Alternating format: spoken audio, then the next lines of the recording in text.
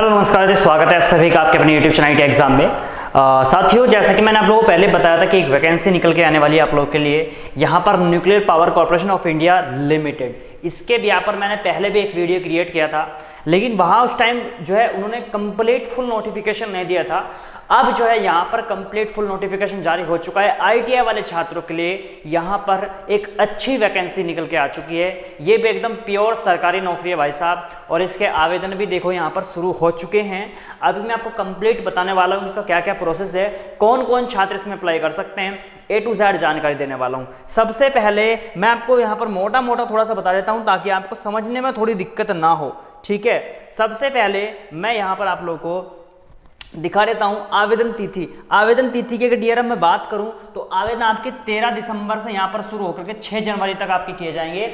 यानी कि 13 से स्टार्ट हो चुके हैं। ठीक है? तेरह दिसंबर से जो फॉर्म स्टार्ट है, वो हो चुके हैं। छह जनवरी तक आप इसके फॉर्म अप्लाई करोगे। अभी मैं फुल नोटिफिकेशन के ब्याह पर भी आपको समझा दूँगा। लेकिन मोटा मोटा समझ लो। यहाँ पर इन्होंने योग्यता जो मांगी है टेंथ प्लस आईटीआई मांगी है ट्रेड कौन कौन से भी दिखा दूँगा।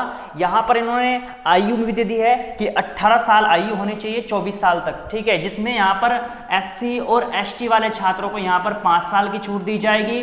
ठीक है? और जितने भी ओबीसी वाले छात्र हैं, इनको यहाँ पर तीन साल की यहाँ पर छूट दी जाएगी। ये तो होगी फ़ीस क्राइटेरिया भी बताऊँगा। चयन प्रक्रिया कैसे होगी, इसकी इसकी परीक्षा आपको देनी होगी डियर ठीक है? उसके बाद यहाँ पर एक चीज़ आती है, यहाँ पर ट्रेड है ना? ट्रेड कितनी है? तो देखिए, यहाँ पर तीन ट्रेड है टोटल एक है इलेक्ट्रिशियन इलेक्ट्रिशियन के लिए टोटल आठ पोस्ट है। फीटर वाले हैं फीटर वालों के लिए 16 है। यहाँ पर इंस्टीमेशन जो वाले होते हैं, उनके लिए आठ पोस्ट है। अब देखो, यहाँ पर कंपटीशन थोड़ा सा घटेगा। ट्रेड तो आपकी मैच खा गई होगी, लेकिन जहाँ तक तो उम्मीद है कंपटीशन आपको लो हो जाएगा, देखो यहाँ पर। इन्होंने कहा है टेंथ में आपके पास विज्ञान और गणित होना चाहिए, ठीक है? इन्होंने पहले जो नोटिस दिया था, उसमें भी ये बात तो दोनों थी यहाँ पर, कि अलग अलग विषय में 50 50 अंक होने चाहिए। अभी अंग्रेज़ी का मैं आपको दिखाता हूँ। अंग्रेज़ी जहाँ तक तो उम्मीद है सबके विषय में होगा। टेंथ में सबके पास अंग्रेज़ी होता है अधिकतर, ठीक है? सबके पास ही होगा। लेकिन इसमें उन्होंने सिर्फ़ मांगा है कि टेंथ में आपके पास सिर्फ़ अंग्रेज़ी विषय होना चाहिए, बाकी कोई दिक्कत नहीं। लेकिन यहाँ पर थोड़ा कंपटीशन डाउन होगा। इन्होंने एक चीज़ यहाँ पर ऐड कर दी है, इन्होंने बोला है यहाँ पर कि टेंथ में आपके पास, है ना? दसवीं में आपके पास क्या क्या भैया, एक तो आपका मैथ प्लस साइंस है ना? क्या एक तो मैथ होना चाहिए और साइंस होना चाहिए। विज्ञान और मैथ ठीक है? उसके बाद मैथ में भी आपके 50 परसेंट अंक होने अनिवार्य हैं और आपके जो साइंस है, विज्ञान में, ठीक है डियर किसमें? विज्ञान में। विज्ञान में भी कितने? 50 परसेंट अंक होने अनिवार्य हैं। किसमें भैया? सिर्फ़ दसवीं में। ठीक है? तो यहाँ पर थोड़ा सा आप लोग जो है यहाँ पर डाउट खा जाओगे। ठीक है? मतलब आपका कंपटीशन डाउन जाएगा यहाँ पर जहाँ तक उम्मीद है। अब मैं आपको कंप्लीट इसका प्रोसेस दिखा रहा हूँ। उन्होंने और क्या कंडीशन दी गई है और और क्या इसके ब्याह पर आपका सिलेक्शन होगा कंप्लीट जानकारी देता हूँ। देखो यहाँ पर सुनो नोटिस के हिसाब से। नोटिस आप लोग के सामने मैंने आपको बता दिया कि तेरह से आपके जो है फॉर्म यहाँ पर स्टार्ट हो जाएँगे डियर आप तेरह तारीख से इसके फॉर्म भरने स्टार्ट कर दोगे। हो चुके हैं भाई साहब। ठीक है? दस बजे स्टार्ट हो चुके हैं। आप छह जनवरी तक इसका आवेदन कर सकते हो। ठीक है? छह जनवरी तक। ठीक है? यहाँ तक किसी कोई डाउट नहीं होना चाहिए। उसके बाद अगले पॉइंट की ओर चलता हूँ। यहाँ पर अगला जो पॉइंट है, यहाँ पर अब ट्रेड, आप लोग देखो, यहाँ पर सिर्फ़ आईटी वाले छात्रों के लिए पोस्ट नहीं है। अलग अलग डिपार्टमेंट से जो डिप्लोमा वाले छात्र हैं, वो भी इसमें अप्लाई कर सकते हैं। ठीक है? डिप्लोमा वाले छात्र भी अप्लाई कर सकते हैं। लेकिन अधिकतर हम आईटी वालों के लिए बात करते हैं। अब कैटेगरी वाइज आप एक बार पोस्ट देख सकते हो यहाँ पर। कैटेगरी वाइज एक बार यहाँ पर पोस्ट आप चेक कर सकते हो। मैं आपको कैटेगरी वाइज एक बार पोस्ट आपको दिखा देता हूँ। देखो कैटेगरी वाइज में क्या लिखा गया देख सकते हो आप लोग यहाँ पर एससी वालों के लिए यहाँ पर पोस्ट दी गई है है ना? ओबीसी वाले छात्रों के लिए है, ठीक है? टोटल मैंने आपको बता दिया फीटर वालों के लिए सोलह है, ठीक है? और इलेक्ट्रिशियन के लिए आठ, और इंस्टीमेशन वालों के लिए भी आठ पोस्ट हैं, ठीक है? यहाँ पर तो ये तो मैंने आपको मोटा मोटा बता दिया। उसके बाद मैं नीचे की साइड आपको लेकर चलता हूँ जो इसमें और मेन चीज़ है, सिर्फ़ मैं आईटी वालों पर भी फोकस कर रहा हूँ ज़्यादातर, ठीक है? बाकी आप इस नोटिस को डाउनलोड करके देख सकते हो। नीचे डिस्क्रिप्शन बॉक्स में लिंक दे दिया है टेलीग्राम का भी और वेबसाइट का भी, वहाँ से क्लिक करके देख सकते हो। आवेदन कैसे करोगे? आवेदन करने का लिंक भी मैंने नीचे डिस्क्रिप्शन बॉक्स में दे दिया है। डायरेक्टली जाओ, हमारी वेबसाइट ओपन हो जाएगी। उसमें स्टेप बाय स्टेप लिखा है कि कैसे आप इसका आवेदन कर सकते हो। वहाँ पर हमने डायरेक्ट लिंक दे दिया है। नहीं टेलीग्राम ग्रुप से जुड़ जाओ। टेलीग्राम ग्रुप में बिल्कुल डायरेक्ट लिंक डाल दूँगा। आवेदन इनकी ऑफिशियल साइट का। ऑफिशियल साइट में आपको भी दिखाई दूँगा। ठीक है? देखो, यहाँ पर इन्होंने कहा है कि ये इन्होंने सैलरी पैकेज के बारे में बात की है कितना कितना आपको यहाँ पर पर मंथ दिया जाएगा। इसके बारे में मैंने पे स्केल के बारे में कंप्लीट आपको जानकारी दी भी थी, जिसने मेरी पुरानी वीडियो नहीं देखी है ना? इससे पहले मैंने वीडियो बनाई जब भी इसका, जब भी मतलब इसका नोटिस जारी हुआ था, मैंने इस पर वीडियो बनाई थी। उसके बाद यहाँ पर आई सीमा मैंने आपको बता दी। उसके बाद हमारा जो अगला पॉइंट आता है, अगला टारगेट हम करते हैं यहाँ पर। यहाँ पर जो जितने विकलांग वाले छात्र होते हैं, उनको क्या क्या है यहाँ पर मतलब छोड़ दी जाएगी, ये सब उन्होंने दे रखा है है ना? तो ये तो बात हो गई।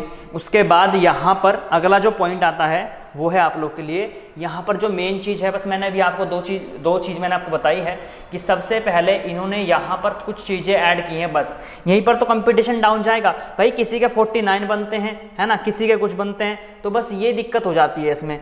ठीक है? देखो, यहाँ पर इन्होंने बोला है कि एसएससी यानी कि दसवीं टेंथ में विज्ञान एवं गणित विषय में अलग अलग विषय में 50 परसेंट अंक होने अनिवार्य हैं। इलेक्ट्रिशियन फिटर इंस्ट्रूमेंट में दो वर्ष का आई प्रमाण पत्र होना ज़रूरी है।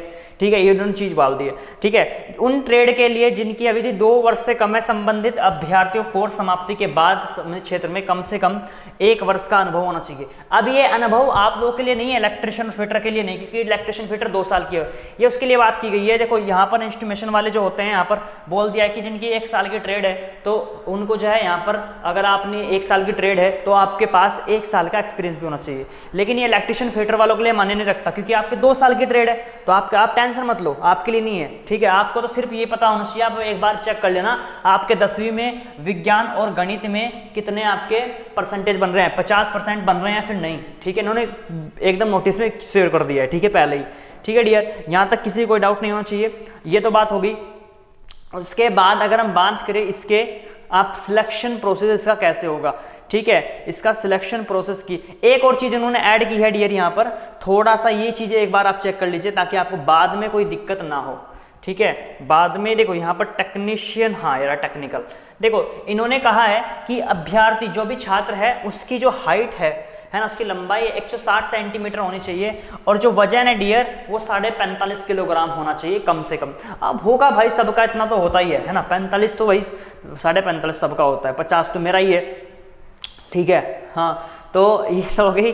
उसके बाद सिलेक्शन प्रोसेस की मैं बात करूँ तो इसमें पहले भैया आपका परीक्षा होगी, ठीक है? देखो, यहाँ पर जैसा आप इसमें लिख रखा है, लिखित परीक्षा आपकी जो है होगी इसमें, ठीक है? अभी मैं आपको आई वालों के लिए दिखा देता हूँ, ये रहा आई वालों के लिए।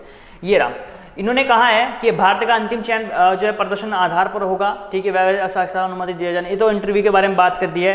लेकिन वही मैंने आपको बताया, इसमें आप परीक्षा होगी एडवांस परीक्षा होगी, जो दो ही, एक दिन में आपकी ली जाएगी। ठीक है, उसके बाद फिर आपका इंटरव्यू वगैरह होगा, फिर उसी के भी यहाँ पर आपका यहाँ पर सिलेक्शन हो जाएगा। लेकिन पहले आपकी क्या होगी, इसमें परीक्षा होगी।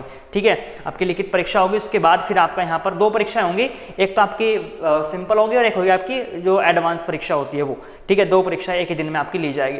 तो ये चीज़ आपको यहाँ पर ध्यान रखनी है डियर ठीक है? देखो एडवांस परीक्षा में स्टेज ये मतलब स्टेज टू है। दो स्टेप दो स्टेज में आपका यहाँ पर क्या होगा? सिलेक्शन होगा। ठीक है? पहली स्टेज होती है, फिर दूसरी स्टेज यानी कि दो पेपर होंगे। ओवरऑल कहने का मतलब मेरा ये है बस। ठीक है? बाकी आप लोग समझदार होगे, समझ चुके होंगे। ट्रेड मैंने बता दिया। मेंशन मैंने कर दिया बोलो कंप्लीट आपको। नीचे डिस्क्रिप्शन बॉक्स में मैंने लिंक दे दिया है। वहाँ पर जाकर के आप इस चीज़ को अप्लाई कर सकते हो। बाकी बस मैंने आपको जो ये क्राइटेरिया बताया ना डियर ये बस आपको ध्यान रखना है।